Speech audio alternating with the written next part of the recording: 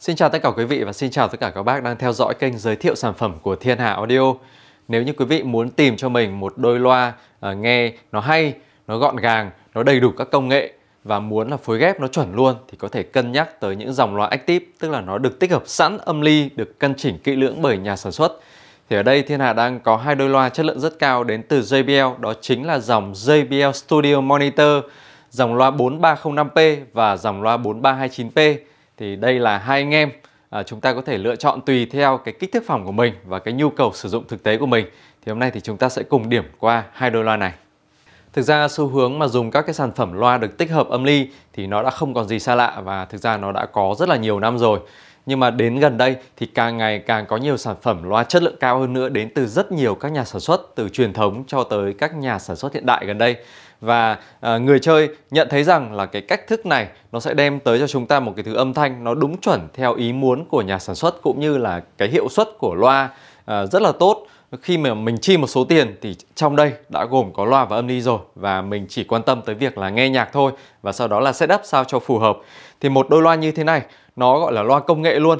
Nó sẽ chỉ cần là mỗi loa, quý vị sẽ cần một cái dây nguồn để cắm vào và phần công suất đã được nằm ở bên trong loa. Và hai loa này sẽ kết nối với nhau hoàn toàn là không dây, hoặc chúng ta có thể cắm dây cũng được. Cắm dây thì chất lượng nó sẽ cao hơn một chút, nhưng chúng ta cũng không cần phải cắm dây, vì chất lượng truyền tải không dây của nó cũng đã đạt đến mức độ rất là tốt rồi.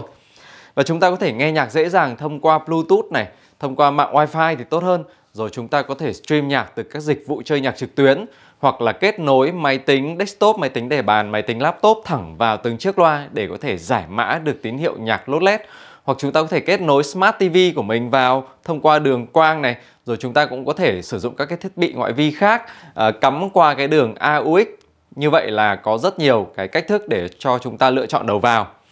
À, về hai đôi loa này thì chúng ta sẽ thấy ở đây có một đôi nhỏ và một đôi lớn. Đôi nhỏ ở đây nó chính là đôi 4305P thì đây là một phiên bản mới. À, ra nó có màu trắng này thì họ đã thay đổi cái cách phối màu. À, phối màu thì cũ nó sẽ giống như là cái loa này.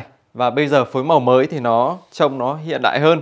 Nó sẽ phù hợp với à, có lẽ là các bạn trẻ hoặc là những cái gian phòng mà nhiều nội thất sáng màu.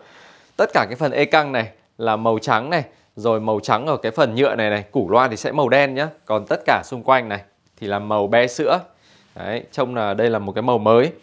Về mặt à, công suất thì chúng ta sẽ có hai cái loa với mức công suất là chênh lệch nhau gấp đôi. Ví dụ với 4305P chúng ta sẽ có mức công suất là 150W cho một chiếc loa. Như vậy, hai loa nhân đôi lên, tổng hệ thống sẽ là 300W còn chúng ta sẽ có cái model 4329P là một model đàn anh. Nó to lớn hơn rất là nhiều và nó cho mức công suất lớn gấp đôi, tức là 300W một bên. Và tổng công suất hệ thống sẽ là 600W. À, về củ loa thì tất cả cũng đều được làm lớn lên tương ứng với công suất của loa.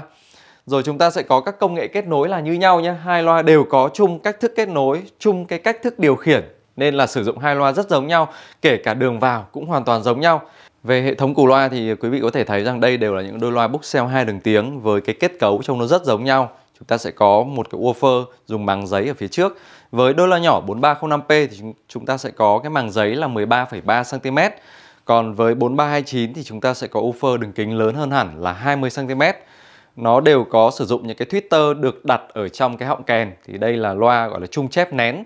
À, về Twitter thì chúng ta sẽ có cái mã là 2410 là dành cho 4305P và à, 2409 là dành cho cái mã này 4329P. Nói chung là về âm thanh ấy thì 4329P là nghe hay hơn hẳn. À, giá tiền cao gấp đôi, công suất lớn gấp đôi và âm thanh cũng hay hơn. Cho nên nếu quý vị đang sở hữu phòng lớn thì cứ uh, mạnh dạn nghe thử 4329P chắc chắn sẽ cảm thấy hài lòng. Nhưng mà nếu khi chúng ta sở hữu phòng nhỏ hoặc chúng ta xét một cái góc trên bàn làm việc chúng ta nên cân nhắc tới những cái giải pháp như là 4305P vì thực ra 4305P ấy, bản thân độc lập nó đã là một đôi loa rất là hay rồi. Cho nên uh, Hải Sơn thấy đây đều là những loa rất là hay ở trong tầm giá. Thực sự là âm thanh của nó vừa lớn vừa mạnh mẽ mà vừa uy lực rồi chúng ta sẽ tiếp tục nói đến cái thiết kế lỗ thông hơi này. Thì đây cũng là một lợi thế giúp cho chúng ta có thể bố trí cái loa này nó gần vào phía tầng sau. Nhưng mà chúng ta cũng nên đẩy ra để có được cái âm trầm và âm thanh nghe nó trong trẻo hơn. Cái loa 4305P chúng ta sẽ có tiếng trầm xuống được tới là 45Hz, giải cao là 25 kHz. Còn sang đến 4329P thì chúng ta sẽ có giải trầm sâu hơn hẳn là xuống được 28Hz ở mức trừ 6 decibel và giải cao thì cùng lên là 25 kHz nhưng mà cái loa 4329P này nghe nó sẽ tơi, nó thoáng, cảm giác nó rộng rãi hơn. Đều là những loa hay. Đấy, và bây giờ chúng ta sẽ chuyển đến phần đằng sau.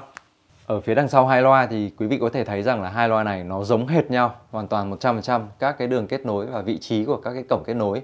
Ở đây chúng ta có những cái đường như là balance in này, Đấy, đường này rất là chuyên nghiệp. Rồi chúng ta có đường AUX in, đường digital in chuẩn optical này và USB in. Tương tự bên này thì cũng như thế, không khác gì nhau cả.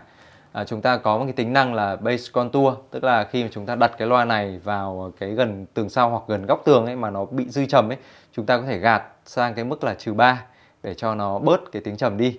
Rồi chúng ta muốn bổ sung thêm tiếng trầm sâu và lực hơn thì chúng ta có thể bổ sung thêm subwoofer thì đây đều có đường subwoofer out cái đường subwoofer out này, họ đã set cái cắt tần là 80 hạt nên khi quý vị cắm subwoofer thông qua cái đường này là nó sẽ tự động cắt ở 80 hạt luôn. Và lúc đấy cái loa nó chỉ thể hiện từ 80 hạt trở lên thôi, thì cái tính năng này rất là hay. Rồi chúng ta có thể à, set loa trái phải. Ví dụ đặt loa này bên trái hay bên phải, không thành vấn đề. Chúng ta sẽ gạt left, right ở đây là xong. Rồi chúng ta có đường à, digital link. Cái đường này là để chúng ta link sang cái loa phụ, nhưng mà chúng ta cũng không cần thiết.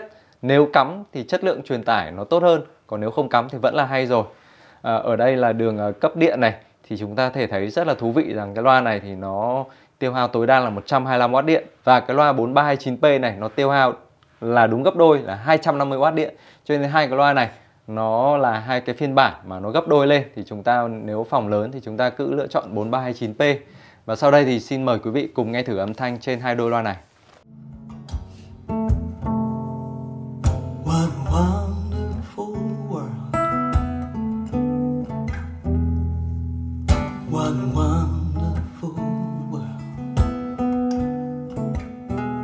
whoa.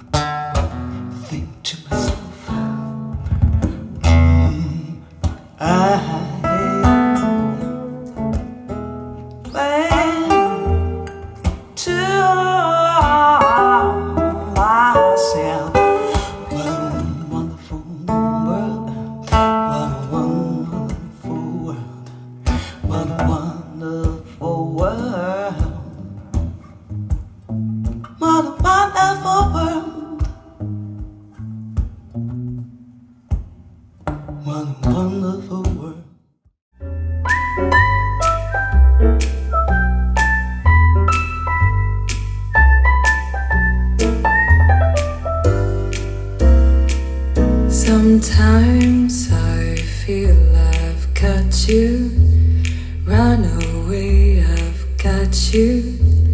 Get away from the pain you drive into the heart of me. The love we share seems to go nowhere, and I've lost my light.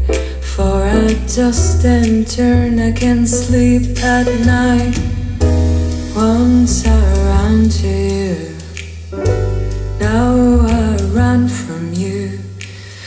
This tainted love you've given. I give you all a boy could give you. Take my tears and that's not nearly all Tainted love. Tainted love. JBL 4305P thì có mức giá tham khảo là 58 triệu đồng và JBL 4329P thì có mức giá tham khảo là 118 triệu đồng. Sẽ có mức giá tốt hơn khi quý vị à, gọi điện tới số hotline đang hiển thị ở trên màn hình. Xin chào, cảm ơn và hẹn gặp lại.